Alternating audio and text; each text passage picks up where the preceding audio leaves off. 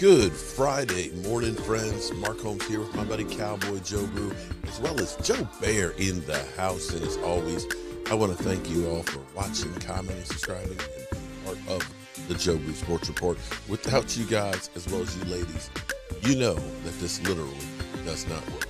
So let's get open and let's wake up the football gods this morning. Today, we've got Matthew Stafford makes amends for yesterday's, excuse me, the day before yesterday's event. We also have, has Keyshawn Johnson actually found out the real problem with the Dallas Cowboys? We look at Jerry Jones, we look at the quarterback. Let's look and see what else we can figure out with the Dallas Cowboys. But before I get to all that, we got to check the birthday list. Today is, I believe, the 18th of February. And today, channel member Michael Gibson Today is your birthday. Da da da da da da da. Happy birthday to you. Da da da da da da da da. Okay, that that one sucks. That that.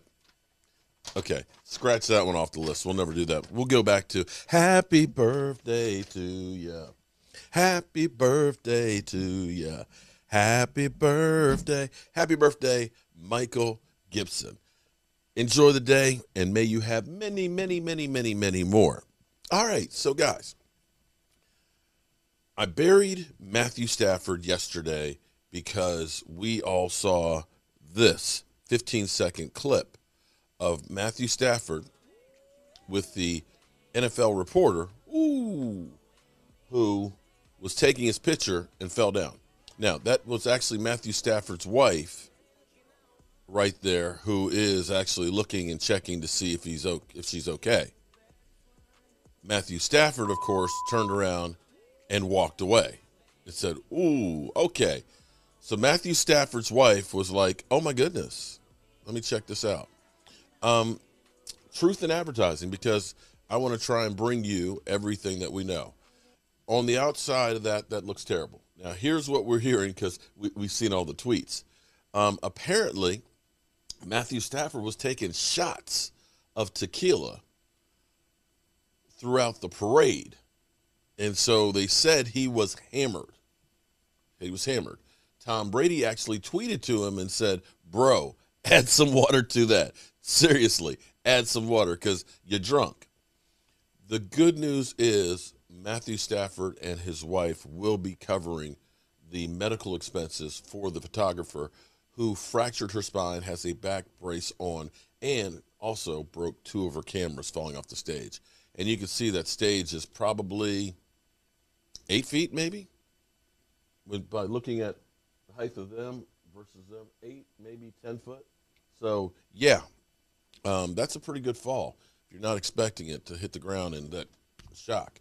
So shout out to matthew stafford and his wife for doing the right thing and giving because technically they didn't have to pay for her medical bills to me, it just would have been better if Matthew Stafford at least had gone down and said, "Hey, you okay? Can somebody uh, let me take my phone out and call 911?" You know, I'm Matthew Stafford. Somebody got, you know, people will listen a little more if you say you're Matthew Stafford. I just won the Super Bowl. But be that as it may, I'm glad that they're going to do that. So, with our Dallas Cowboys, as we sit here, literally less than a month away from free agency um, starting as well as having to get up underneath the cap. We think that we have our coaching situation resolved. We believe that Mike McCarthy is our coach, and we believe that Kellen Moore is still our offensive coordinator. We don't know the dynamic of how that's going to go. Will Mike McCarthy put more influence on it, or will he be just the overseer of Kellen Moore? And people are trying to figure out what is the problem with the Cowboys. Yesterday it was Dak Prescott's over. Uh, is he overrated? You know, and so I think it was Mike Rizzo said, "Well, Dak Prescott's never won a, you know, hasn't won a road playoff game, and um, Kirk Cousins has." Yeah, but you know what? I believe the record between Kirk Cousins and Dak Prescott. I believe Dak Prescott has beat him eight games to one. Seriously. I think it's eight to one Dak over Kirk Cousins. And in that game that he did lose, That was a game that Zeke Elliott, I think, only rushed for 40 some yards. And our boneheaded coach decided when Dak was slinging the ball all over the place and we're moving all, all, all the way down and we're in position for the game winning score, let's go back to running and ran the ball two times and then let's throw a screen to Zeke Elliott. Not exactly the best way to try and win a game. And mind you, our field goal kicker also missed the kick in that game as well. And I believe Amari Cooper was out in that game along with Tyron Smith. Um, had our field goal kicker made that kick, all we would have needed to do was kick a field goal to win the game. But I digress. The question with the Cowboys, and this is the autopsy time for the team, we have to figure out because you see, I'm wearing, I want six. I've had this shirt for too damn long, okay? I, have worn it in the workshop, I've worn it cooking, and, and I am wearing this as uh, my red badge of honor because I've been taking bullets wearing this shirt. And I will wear this shirt till it li- either we go and win the Super Bowl. I mean, not every day. I'm not wearing it every day, okay? Because that's, that's just nasty. But I will continue to use this shirt no matter how much paint, varnish, stain, epoxy gets on here, how much mustard and all that. I will wear this shirt till the Cowboys win another Super Bowl or it just disappears into the ether. I don't know which is going to come first, but I am working on getting myself physically fit because I will be damned if I will die without the Dallas Cowboys winning another Super Bowl. So since the season ended, it's been my mission to get back in shape. I've lost 12 pounds. My blood pressure has come down because I know I'm in it for the long haul. I'm in it for the long haul, and I'm going to do everything in my breath to try and make sure we get that sixth ring because when I die, I don't want to be haunted by the fact that we didn't win another fucking Super Bowl in my lifetime.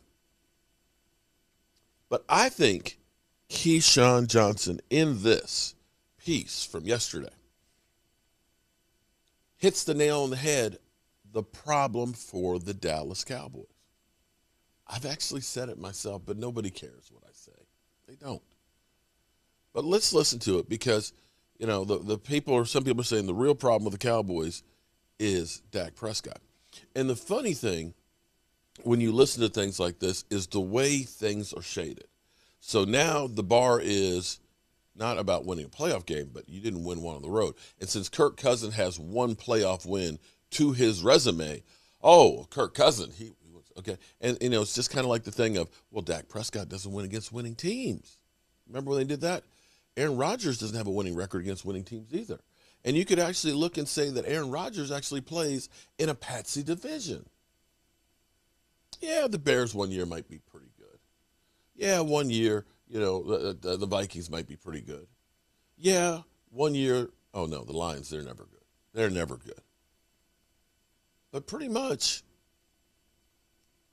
they're not good teams that Aaron Rodgers is facing. And it shows when it comes to the playoffs because – he's not exactly going to Super Bowls either. He's getting a bye in six easy games a season right there in his own division. But I digress. Let's go through and let's listen to this because I want to go through and point out a couple of things that they say that it's kind of like what Dan Orlovsky said. Can take numbers and skew them any, any way we want. We often can take numbers and we'll, fit them into the narrative that we want to try and paint and I probably am guilty of this, can take numbers and skew them any, any way we want. We often can take numbers and we'll fit them into the narrative that we want to try and take.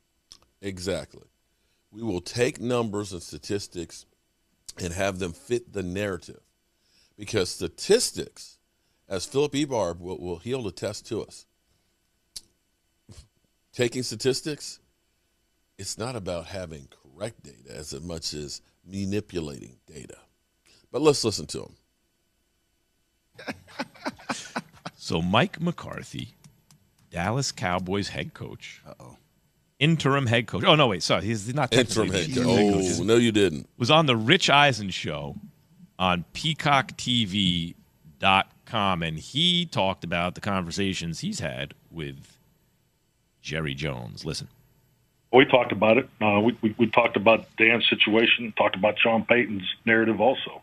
The conversation was, you know, uh, you and I are in this, you know, back to back, and uh, you know, it's a partnership, and you know, just focus on what we need to do moving forward. He made some personal comments about, you know, how, how he feels about it, but you know, that's really for for him and I. But yeah, I, I'm very very comfortable with our relationship and our dialogue. I mean, it's uh, at the end of the day, we both want the same thing, and it's uh, to win the world championship. Of course, they both always want the same thing to win a world championship. I think that the the thing that stands out to me that's glaring is the fact that he understands the situation and where things are at. He understands Sean Payton is looming mm-hmm. in, in the Texas area, and he'll be there all season long, whether he likes it or not. That's the beauty about it. When you know what beauty. you're up against, like Mike McCarthy understands.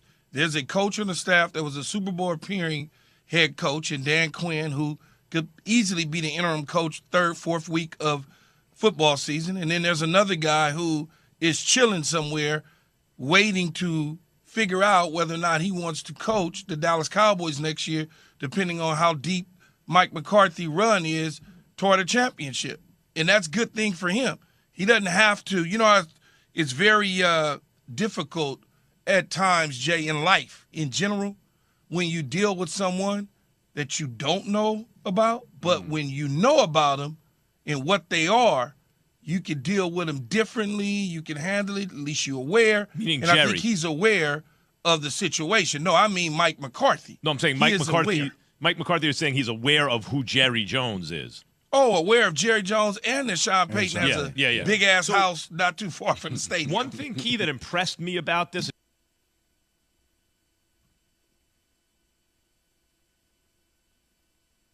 Well, I feel like you've played.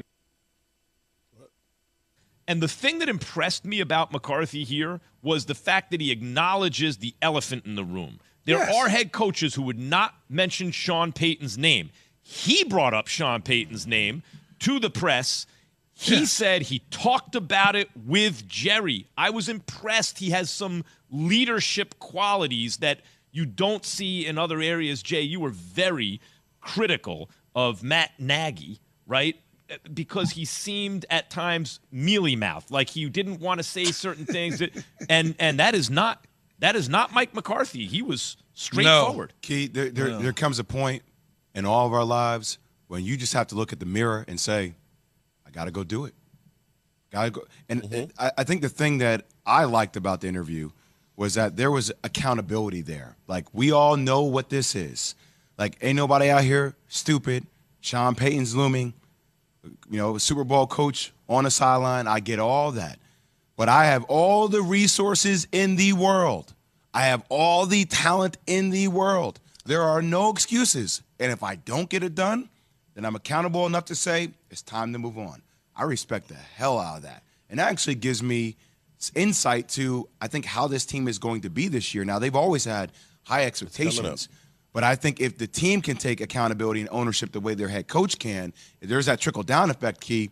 Like once again, like that's what they have to go do and, because that's where it is.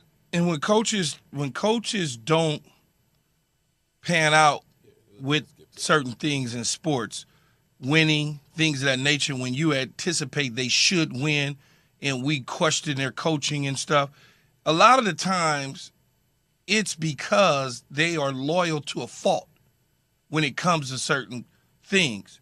Uh, if you remember last year, who was Mike? Not last, not this past season, but his first season. Who was Mike McCarthy's defensive coordinator? Mike Nolan. His buddy. Who was Mike McCarthy's boss when he was in San Francisco? Mike Nolan. So he dug up Mike Nolan out of the ground after a hiatus of, I don't know what it was, 10 years or something like that, to become his defensive coordinator. So that's loyalty to a fault. So they come in, they switch up to Dan Quinn. And the reason I bring this up is how can the Cowboys be better? Well, they can be better because they can run the football. When they ran the football and they gained over 100 yards, they were undefeated. Here you go. But what happened was they stopped doing that. Kellen Moore decided he wants to throw the ball all over the lot because he's an ex quarterback. Ex quarterbacks as offensive coordinators – they have the tendency to want to do But that. Hold on, Key. Uh, But this is interesting to me, okay? Because I think people look at the Cowboys, they go, they have everything they need. So it must be the coach. So they got rid of the last coach, they bring in a new coach. If this doesn't work out, it must be the coach. They paid the quarterback. But when you say, Key, they have to, you know, he wanted to throw it all over the lot, they have a lot of very good receivers, right? They Doesn't mean have- you got to throw it all over the but, lot, but my, but my point is, they also have a great quarterback. If Aaron Rodgers had a ton of great receivers, Doesn't or someone mean like that, you- that, doesn't mean but- you got. That's part of the problem, Max. But, but wait, Key, you'd want him to throw it if if if he had if if Aaron Rodgers had the entire Cowboys receiving corps, you'd want him to throw it. Why don't you want Dak to throw it? And the reason I bring this up That up, doesn't sound like a. Di- See, here, here's my thing on this is because, you know, everybody always says, oh, well, Dak has to have everything perfect to succeed. I think it's this offensive set philosophy that you have to have everything clicking to work. This is the case for the Dallas Cowboys offense. It's a run first offense, or that's the way it was designed. And if you become one dimensional and can't run the football, it doesn't work. And it's not just a Dak Prescott thing. It is a Dallas Cowboy thing with this offense. And we try to sling the football around too much and we can't run the football. Now, maybe, you know, Zeke Elliott, because he's paid so much money, they feel the need they have to run him, but you can look at the stats and the numbers. Tony Pollard is a more effective, younger, quicker, more elusive running back. And we get away from things that work for this team. But let's go on for a little bit more because this goes to the manipulation I'm talking about. discipline mentality, though. That's saying well, because I have all these pieces, Did you I have to did do it did- this way. No, you exactly? to, but did like- you not just hear what I said, Max? When they ran the football and they gained over 100 yards, they were undefeated. yeah. so what does that say? What it says to me is their quarterback isn't as good as their their That's their not running back. don't that's think not what that that. says. What it says is we have a system in place, and when we get away from that system, we wind up screwing it up. And where I was headed to this is offensive line was shifty. They were in and out of the offensive line. But when you are loyal to a fault, Joe Philbin, who's the offensive line coach, is not Preach an it. offensive line coach. He's a football coach. Okay, when he was in Green Bay, he was a pseudo offensive coordinator, quarterback coach. Went to Miami, got fired, whatever the case is. He winds up back on Dallas staff. Now he's the offensive line coach. Nice guy, but you can't be a nice guy and coach offensive lineman. You got to be a prick. You got to be a real mm. ass to coach offensive lineman mm. because you got to be tough like them. That's another problem that they have on top of the Kellen Moore situation. And I understand what you're saying about, oh, if you got this hot shot quarterback, how come they're not throwing it all over the lot? It's not that. It's you pick your spots when to throw. Mm-hmm. You pick your spots. Just because you got a plethora of weapons at the receiver position and you got a $200 million quarterback doesn't mean that you got to drop back 45 times to throw the damn football. Sure, especially if that's you know you got to also take what they give sometimes. What the defense is let you got to Yeah, don't be hard headed. Yeah, but Key, the the reason I bring that up is uh, Mad Dog Russo, Chris Russo, was on First Take yesterday and made Oh, the case God. that Kirk Cousins Here we go. and Derek Carr. Let's leave Derek Carr alone because Derek Carr and Dak, you might argue, are better than Dak. And Wait, wait, his wait, wait, main wait. point was to me was he that that Kirk Cousins has won a playoff game. on the Oh, road. God. Get On out the of road, here. And Dak has not. Um, This is a all real right, so here's the question. Look, This is I a don't real think Kirk thank Cousins- you. Anyone here think Thank Kirk you. Cousins is better than Dak Prescott? I don't. No. If none of us do, let's leave that he alone for a a, second. he But here's won the a question. game. Won one he won a playoff game. playoff game But- but- on the road. I, I want to leave that alone because none of us think Kirk Cousins is as good as Dak Prescott. But it does beg the question is Dak overrated? Let's say he's considered a an elite quarterback. Does that overrate him? Where should he be rated? Key, is he top 10? Is he top five? You had him at one point top five. You said he's hovering back and forth between that top bucket and the top of the next bucket. Is Dak overrated? No, he's not overrated. Why would he be overrated? How is he overrated? Because they lost this this year in the playoffs. Because he's I mean, I- been I six think- years in the league, and it is a good. He hasn't won a playoff Was- game. let me let me ask you a league. question though. Let I love a it. Question. Hasn't won one on the road. How many In Peyton playoff Manning's games have the Cowboys won in the last 26 years? Uh, by year six, I think he was pretty good. But I, I- did he miss any time with an ankle? Did he did you you gotta look at everything in totality, man. You can't just look at it and say, I don't like him.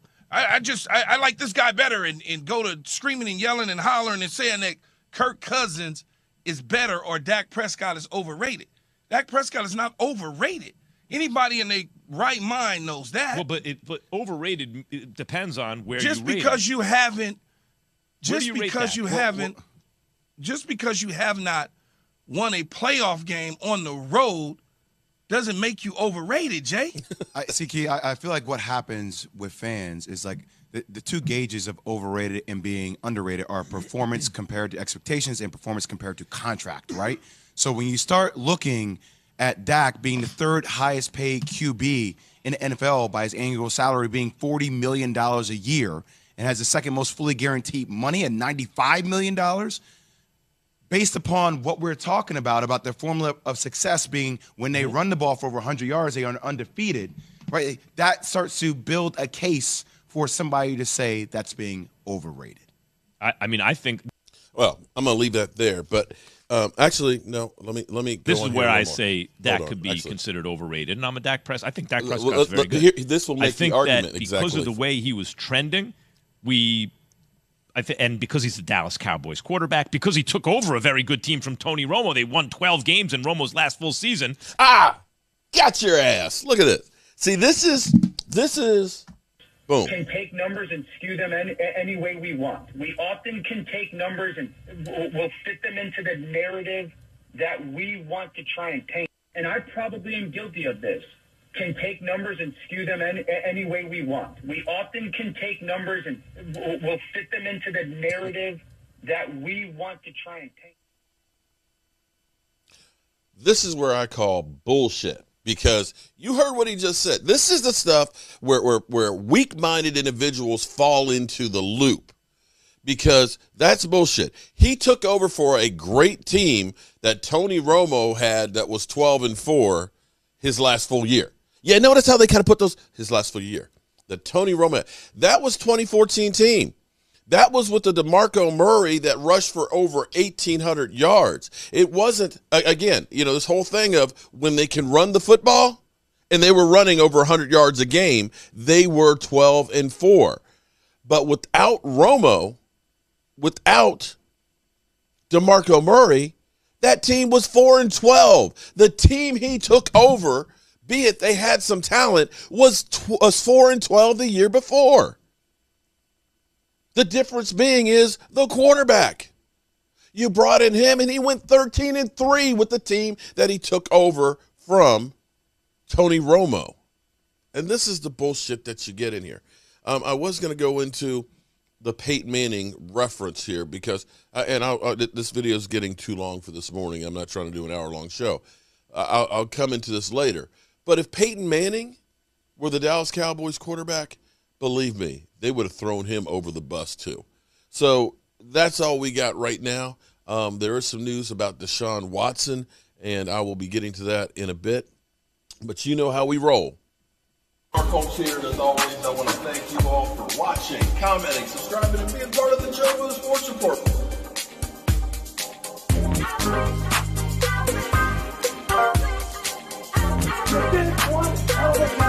And the only thing else I got to say is,